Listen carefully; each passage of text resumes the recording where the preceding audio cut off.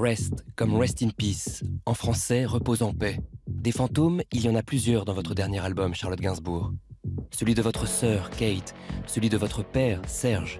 Vous en parlez en ce moment dans les interviews, librement, sans tabou, presque sans pudeur. Elle, les Inrocks, je ne vous reconnais pas, Charlotte. Où est passé votre trac, votre timidité légendaire, votre complexe d'enfant de star?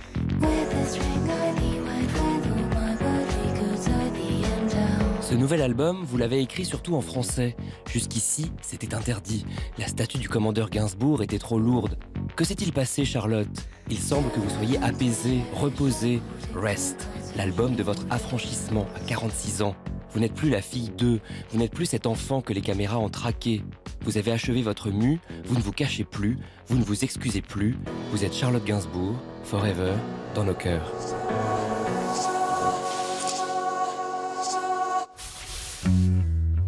La première fois qu'on vous a vu, Charlotte, vous étiez encore un fœtus caché derrière une poupée de chiffon dans le ventre de Jane Birkin qui ne pouvait plus fermer son zip. Histoire de Melody Nelson, histoire de Charlotte Gainsbourg, apparue un jour d'été 71 à Londres. Vous avez vite inspiré à un Gainsbourg gaga cette chanson. C'est une petite poupée qui fait pipi caca. Jane? Rue de Verneuil, vous trouviez le moyen de déconcentrer votre père en pleine interview. Viens, viens, viens. Ah, ça c'est Charlotte. Enfant illégitime. I didn't get a letter, no, but somebody told me about it. Tu peux pas le prendre là-haut? Parce qu'on tourne là. One second, I tell you, could I take it? I'm just going to go upstairs and, and uh, take it from another line. Okay? I won't ça, be a minute. Bye. C'est anglais, ça. Le Gainsborough n'a pas fini de fasciner, notamment Alex Bopin, qui partage avec Gainsbourg son obsession de faire chanter les comédiennes, comme dans les chansons d'amour de Christophe Honoré. Son regard sur le clan Gainsbourg est aussi tendre qu'amusé. C'est la famille royale, la famille Gainsbourg quand même. Il a un côté comme ça. Chez nous, on les adore aussi parce qu'il y a une espèce de d'aristocratie comme ça de ces gens-là, quoi. Que ce soit Jane Birkin, euh, euh, Charlotte, donc euh, Lou Doyon, etc. Il y a un truc un peu, c'est nos, c'est nos Windsor à nous quand même. Ce qui est encore plus classe parce que c'est des Windsor qu'on réussit par le talent. On a l'impression d'avoir grandi, enfin, quand on est d'une génération, quand on a 35, 40, 45 ans, d'avoir grandi complètement avec elle. Moi, je me souviens de la première fois que je l'ai vue, c'était à l'époque de Lemon Incest.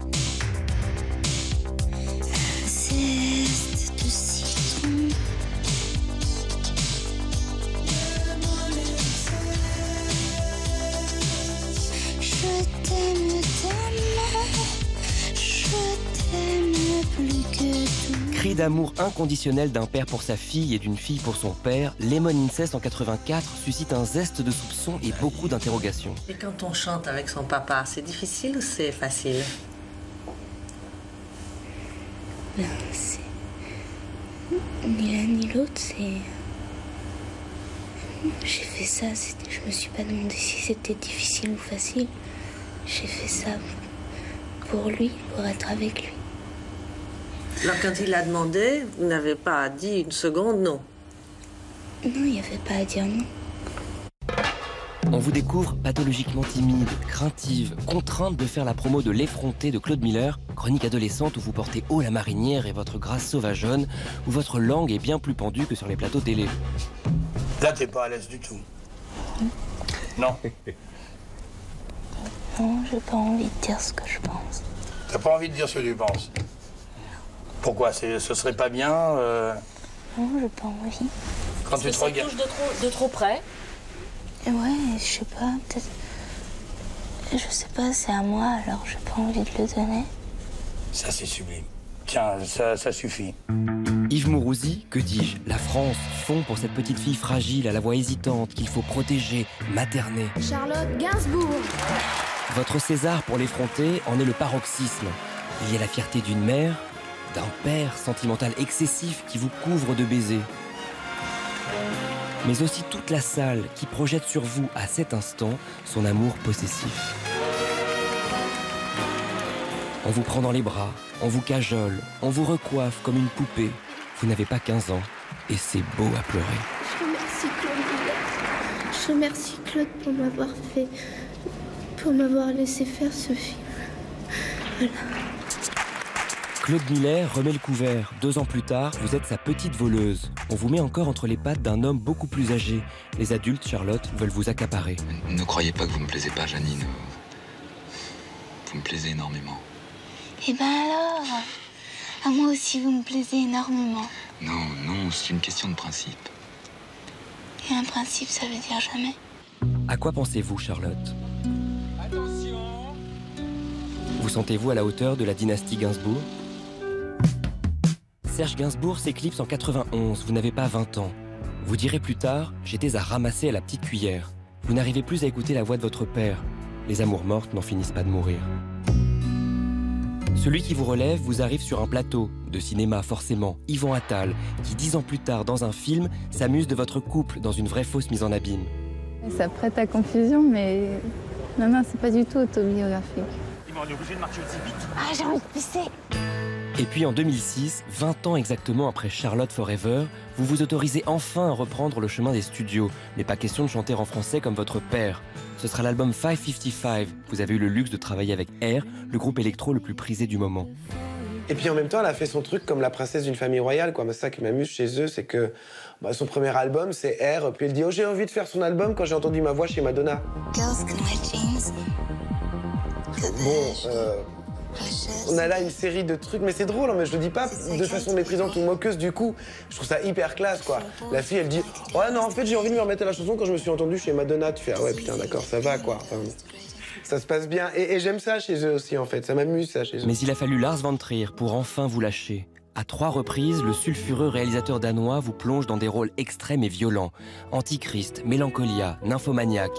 Vous vous mettez à nu. Vous semblez réaliser que vous êtes une artiste à part entière et non pas une héritière. En fait, le talent vous appartient.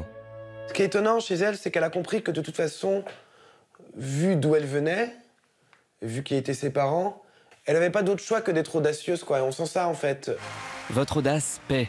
Vous décrochez le prix d'interprétation à Cannes en 2009 pour Antichrist. La présidente Huppert vous attrape les bras dans un geste de tendresse qui dit encore Bravo ma fille. Je pense à mon père. J'espère qu'il aurait été fier de moi. Fier et très choqué.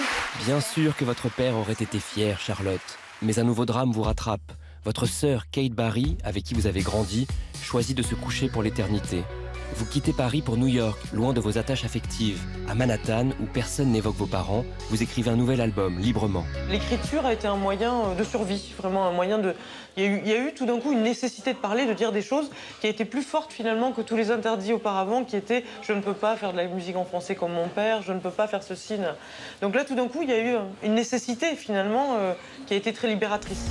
Dans cet album, Rest, il y a trois chansons sur Kate. L'une d'elles évoque une âme trop tendre que rien ne berçait. Et puis surtout, il y a Lying with You, titre inouï dans lequel vous racontez Serge Gainsbourg sur son lit de mort. Encore lui, toujours lui.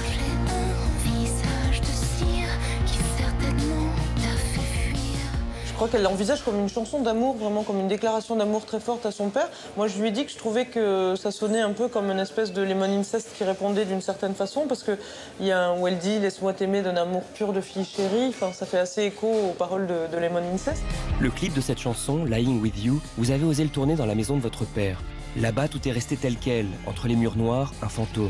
Vous vous en êtes affranchi, mais il reste l'homme de votre vie.